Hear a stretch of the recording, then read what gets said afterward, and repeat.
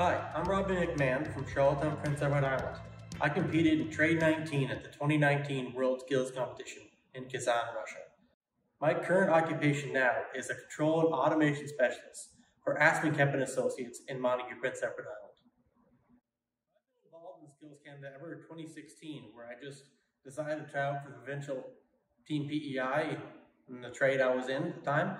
And ever since that, I've tried to stay involved, whether mostly competing, but tried to stay involved in the teaching side of things, showing the next competitor how to, what's the next techniques, what's the good things to do. And, and now I'm trying to do everything I can at home to try to stay involved in Skills Canada. My trade or tech area is Trade 19, which is industrial control. My trade involves a lot of automation and electrical coming together to create like the car wash you go through or the, the ferry you get on to cross Prince, uh, Prince Edward Island, Nova Scotia. Those are the things we do is more bringing PLCs and electrical together. My trade, yes, is an apprenticeship trade that you can gain a red seal for, whether it be commercial or industrial. The, the education pathway to either one of those is a one-year program for commercial, which is what we have here in Prince Edward Island, and the industrial side of things, which is a two-year program here, but I believe is a three-year program in other parts of the country. This trade and career path can open up every door that involves anything to do with electrical. A few examples would be an electrical programmer, which is what I reside as right now. An electrical contractor, which is your basic electrical contractor wire your houses or buildings in the city.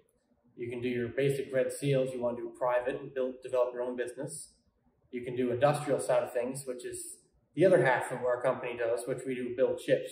We do the high voltage regarding the, the thrusters and the motors, and we do low voltage, which is all the lights and the, the screens. But anything to do with electrical, this door is open for you. A great way to attract youth in this trade is to get them in the triad trades, which we have all over the country. So to get them into this trade, you need to get their hands into things. You need to get their mind into things. By getting their hands, you can get them to do simple electrical, which gets things to turn on or gets things to move. And to get their mind into things, you can do stuff like develop a simple program that can have them think like, how is this working? How is this doing this? And that's where the programming side comes in. So you can have them doing that and you can have them hands dirty and they're, they'll develop a liking to it, which I did. How has Skills Canada impacted my life? It has opened doors I didn't think were possible to be opened. By me doing this two year course at Holland College, I never got the experience in the automation side of things that I didn't think I would get to do. But being able to compete nationally with more of my building side of things being my strength, when I got to qualify for Worlds, I got to do a lot of automation things. So that has opened my mind a lot to the automation side of things, which I've fallen in love with which is my current occupation right now. I've also gained a ton of friends all over the country and a few around the world that I'll probably have the rest of my life, I hope. And another thing is the generous the generosity of the gifts and the tools that were given to me that allow me to compete.